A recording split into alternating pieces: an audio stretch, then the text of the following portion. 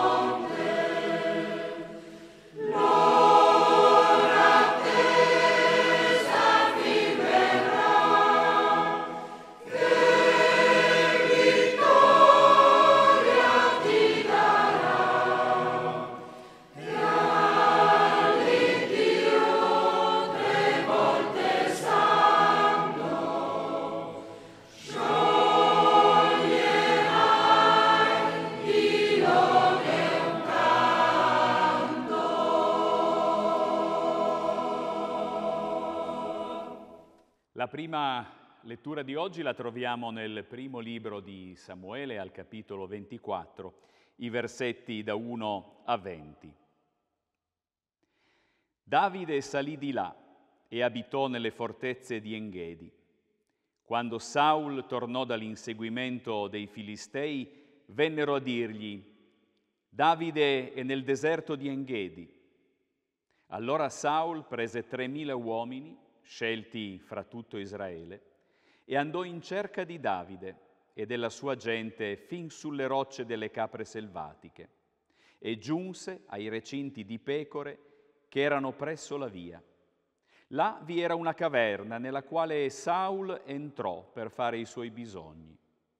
Davide e la sua gente erano in fondo alla caverna la gente di Davide gli disse, ecco il giorno nel quale il Signore ti dice, vedi, io ti do in mano il tuo nemico, fa di lui quello che ti piacerà.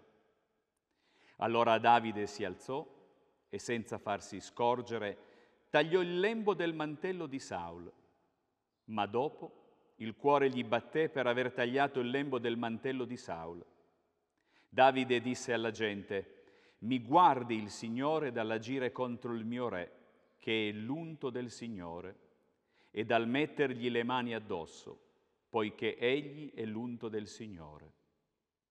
Con queste parole Davide frenò la sua gente e non le permise di gettarsi su Saul. Saul si alzò, uscì dalla caverna e continuò il suo cammino. Poi anche Davide si alzò, uscì dalla caverna e gridò dietro a Saul dicendo, O re mio Signore! Saul si voltò indietro e Davide si inchinò con la faccia a terra e si prostrò. Davide disse a Saul, perché dai retta alle parole della gente che dice Davide cerca di farti del male? Ecco, in questo giorno tu vedi con i tuoi occhi che oggi il Signore ti aveva dato nelle mie mani in quella caverna. Qualcuno mi disse di ucciderti, ma io ti ho risparmiato e ho detto non metterò le mani addosso al mio Signore, perché Egli è l'unto del Signore. Ora, Padre mio, guarda qui nella mia mano il lembo del tuo mantello. Se ti ho tagliato il lembo del mantello e non ti ho ucciso, puoi da questo vedere chiaramente che non c'è nella mia condotta malvagità né ribellione e che io non ho peccato contro di te, mentre tu mi tendi insidie per togliermi la vita. Il Signore sia giudice fra me e te e il Signore mi vendichi di te, ma io non ti metterò le mani addosso. Dice il proverbio antico, il male viene dal, dai malvagi, io quindi non ti metterò le mani addosso. Contro chi è uscito il re di Israele? Chi vai tu perseguitando? Un cane morto, una pulce. Sia dunque arbitro il Signore e giudichi fra me e te. Egli veda e difenda la mia causa e mi renda giustizia, liberandomi dalle tue mani. Quando Davide ebbe finito di dire queste parole a Saul, Saul disse, È questa la tua voce, figlio mio Davide? E Saul alzò la voce e pianse.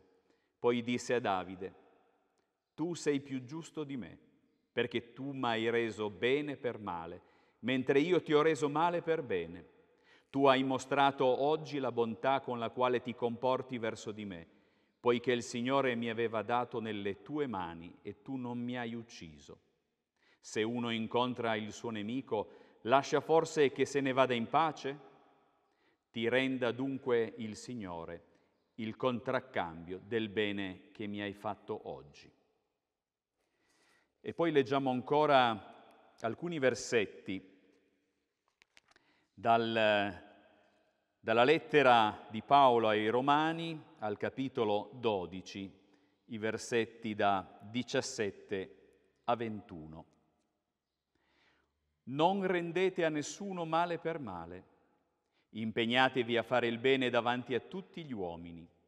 Se è possibile, per quanto dipende da voi, vivete in pace con tutti gli uomini. Non fate le vostre vendette, miei cari, ma cedete il posto all'ira di Dio. poiché sta scritto, a me la vendetta, io darò la retribuzione, dice il Signore. Anzi, se il tuo nemico ha fame, dagli da mangiare, se ha sete, dagli da bere, poiché facendo così tu radunerai nei carboni accesi sul suo capo. Non lasciarti vincere dal male, ma vinci il male con il bene. Il Signore benedica la lettura e l'ascolto della sua parola.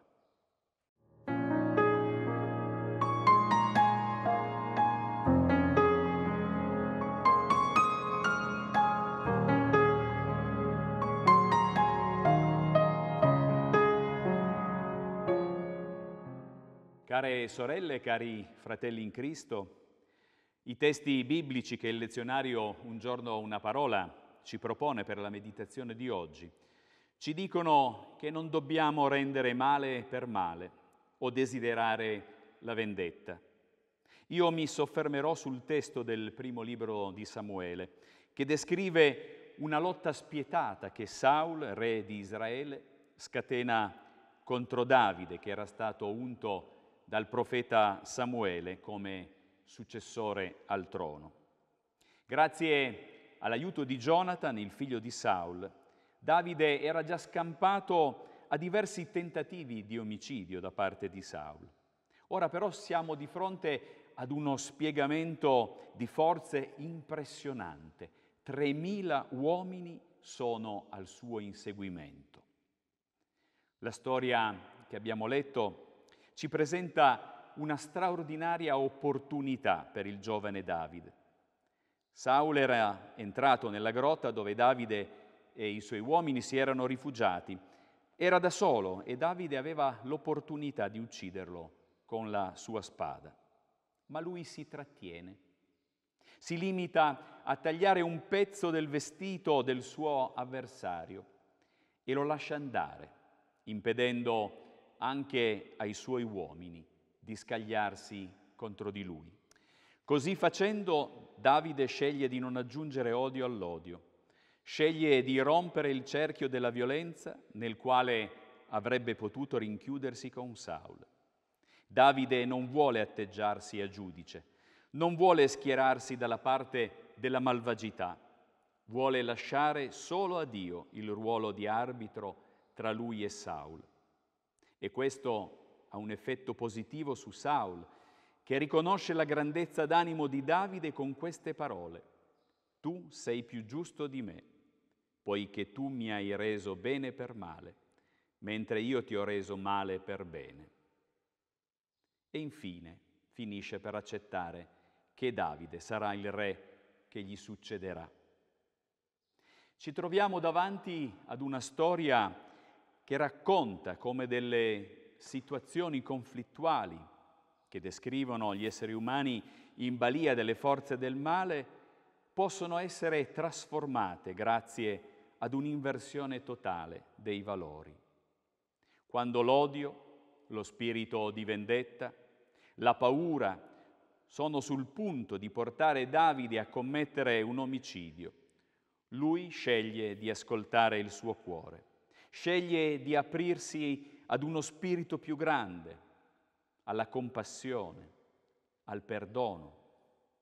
Questa scelta gli permette di rinunciare al peggio per lasciare che il meglio accada in lui. Il tema di questa domenica parla da sé. Siamo tutte e tutti parte di una comunità di peccatori. Questo ci invita ad un percorso di umiltà, nelle relazioni che abbiamo con noi stessi, con gli altri e con Dio. Essere una comunità di peccatori significa che nessuno di noi è risparmiato dal peccato e che ne siamo al tempo stesso vittime e attori. Giusto e sbagliato, verità ed errore si mescolano in noi nei conflitti che potrebbero opporci gli uni agli altri, è bene ricordare che la ragione e il torto non si trovano solo da una parte. E quando la violenza diventa l'unico modo per voler risolvere un conflitto, la ragione del più forte non è la migliore.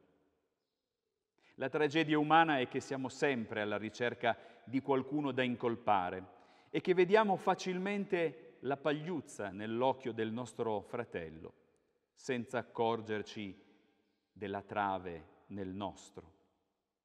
Nella storia di oggi Davide è riuscito a cambiare idea perché ha sentito battere il suo cuore quando ha tagliato la veste di Saul. Il ritorno in se stesso, alla propria interiorità, il ritorno alla sua umanità gli hanno permesso di non commettere l'atto fatale.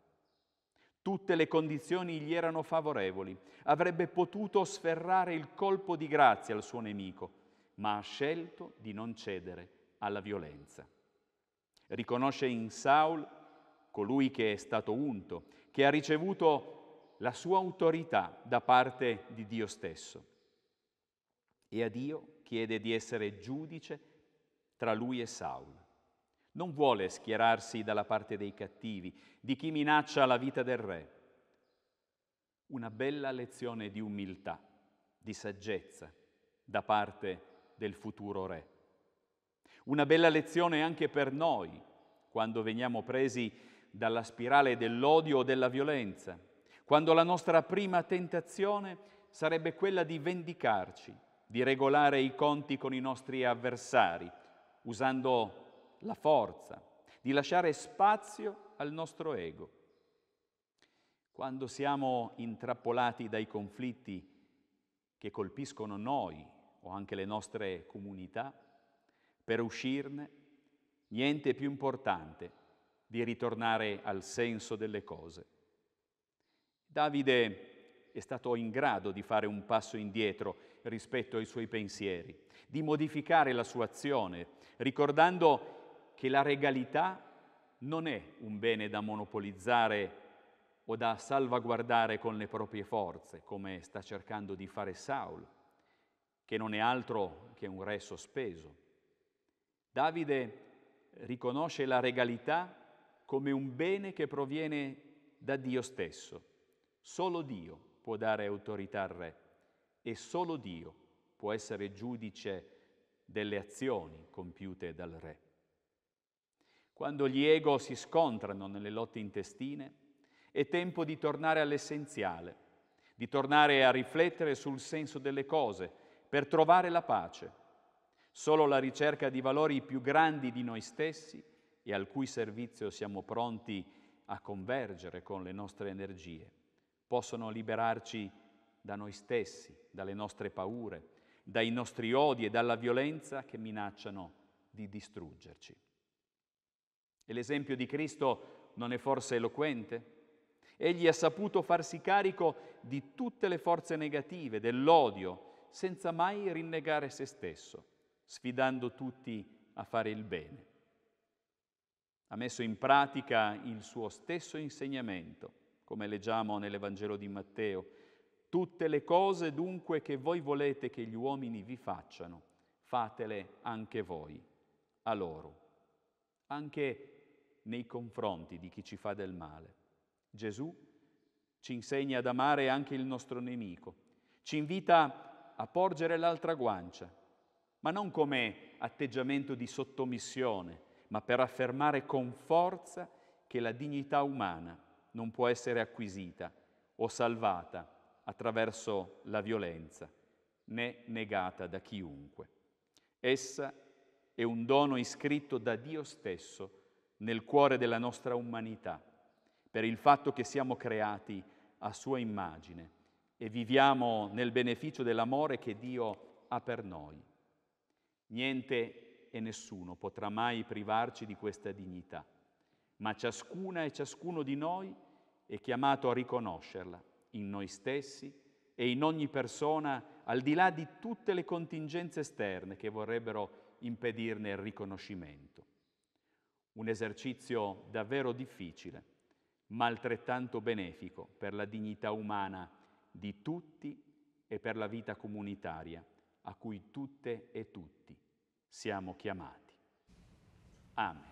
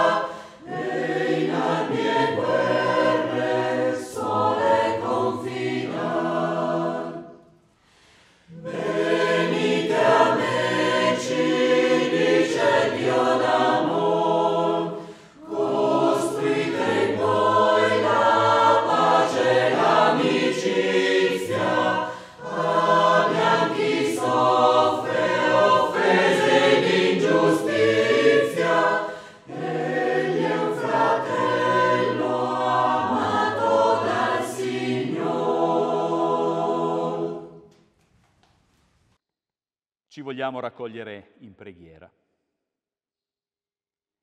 Dio nostro Padre, ti preghiamo per coloro che sono intrappolati nella spirale della violenza e del desiderio di farsi giustizia.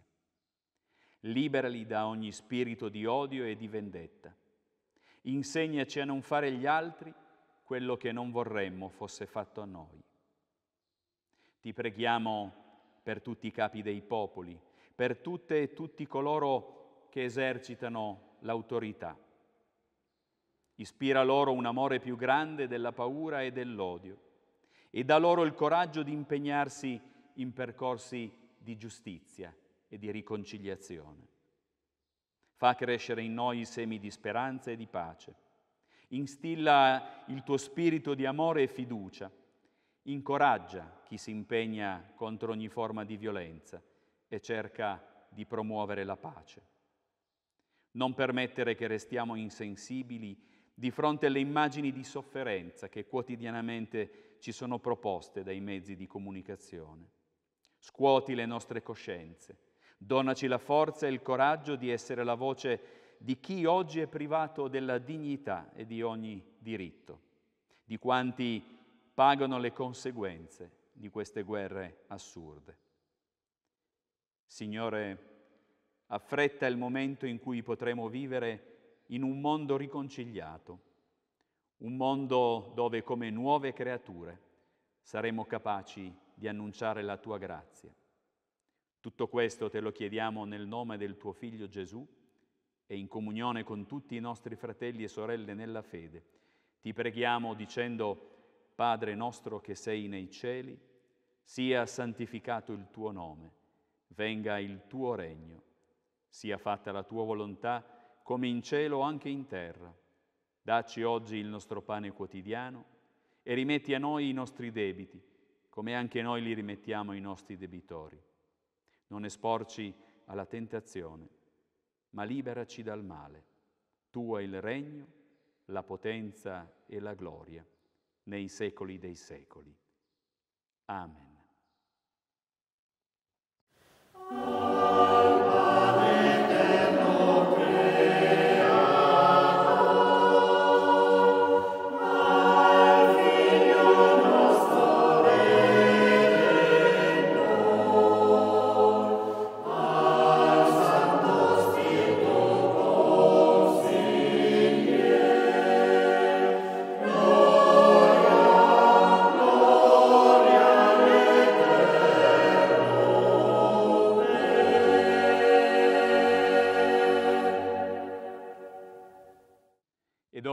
accogliamo la benedizione del Signore. Il nome del nostro Signore Gesù sia glorificato in voi e voi in Lui, secondo la grazia del nostro Dio e del Signore Gesù Cristo. Andate in pace e la pace del Signore sia con tutte e tutti voi, oggi e per sempre. Amen.